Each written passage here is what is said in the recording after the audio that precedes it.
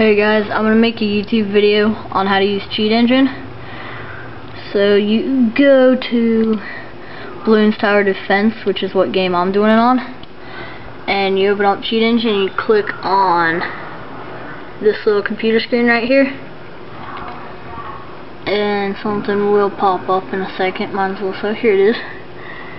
And you click on whatever you whatever browser you're using. I'm using Internet Explorer, which is right here. And let's see if they've got anything else. We've got Firefox up in here. But let's hope it's this one. Doesn't always work on the first one. But you just gotta use what browser you're using. Open it.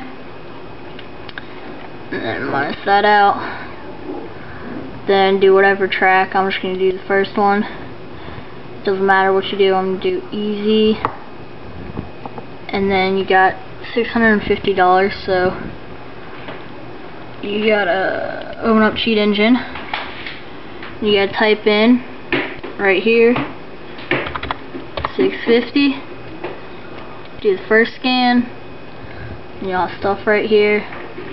Then you gotta buy buy this. That right there. Now you have $345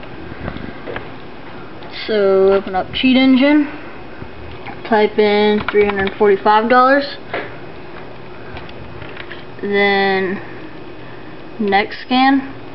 There should be one thing right here. If there's not, you use the wrong browser. See right there. 345. Alright. So you double click on that. And now it's down here.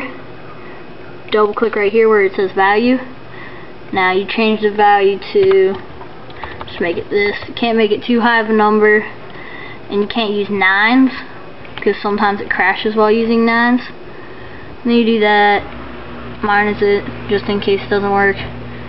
Now, so you still have $345. Click sell. Now look what happens to your money. Boom. You got all that money. But Super Monkey do whatever. Yeah, that's how you use Cheat Engine 6.0. There you go. Thanks for watching.